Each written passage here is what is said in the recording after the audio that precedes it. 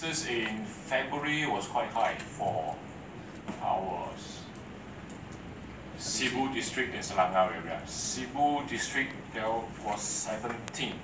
Yes. 17.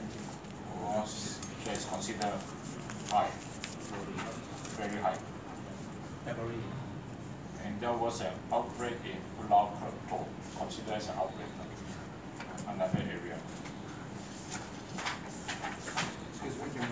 Ada nama. CDC. Hmm, nah. 17 for Sibu district, 13 cases in Selangau.